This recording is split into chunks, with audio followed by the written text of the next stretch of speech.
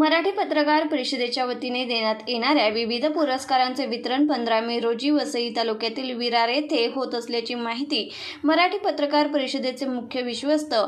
S M Deshmukh यांनी एका प्रसिद्धी पत्रकाद्वारे दिली आहे ज्येष्ठ पत्रकार पंढरीनाथ सावंत यांना या समारंभात बाळशास्त्री जांभेकर जीवनगौरव पुरस्काराने सन्मानित करण्यात येणार आहे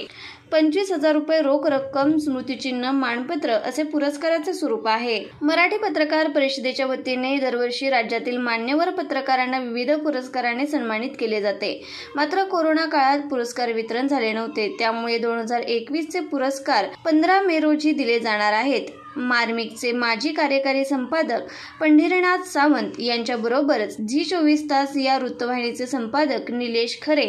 यांना आचार्य यात्रे पुरस्कार मृणालिनी नानिवडेकर दीपक प्रभावळकर राजेंद्र रावसाहेब गोगटे पुरस्कार भारत रांजणकर अच्युत पाटील गावाकडचे संपादक उत्तम दगडू स्वर्गीय शशिकांत सांडभोरे स्मृती पुरस्कार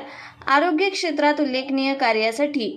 दीपक कोतके यांना देण्यात येणार आहे या पत्रकारांचा मान्यवरांच्या हस्ते पुरस्कार देऊन गौरव केला जाणार आहे